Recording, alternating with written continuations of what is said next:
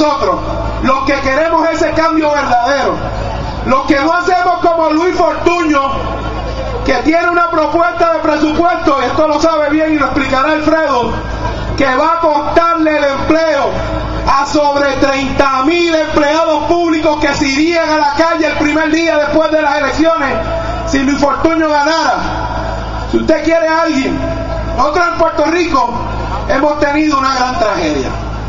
El representante de nosotros en Washington, cuando tiene que estar allá, está acá.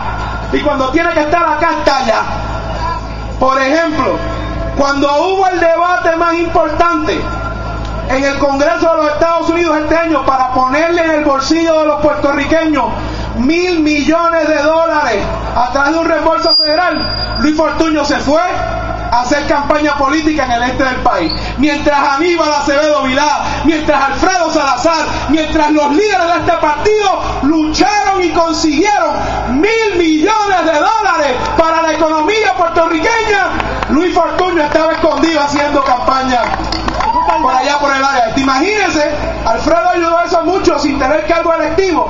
Imagínense cómo va a ayudar a Orly con las propuestas federales, con esos programas federales, si lo elegimos a Washington. Por eso, si ustedes quieren esa transformación, hay que votar por Alfredo, hay que votar por Orly, hay que votar por una legislatura popular con gente como Luis Vega hay que votar por Aníbal Acevedo Vilá y hay que ir para desagraviar a un hombre valiente, para cerrar filas con un hombre que está injustamente vapuleado por la, por la madrina de Luis Fortuño en la Fiscalía Federal Rosa Emilia Rodríguez.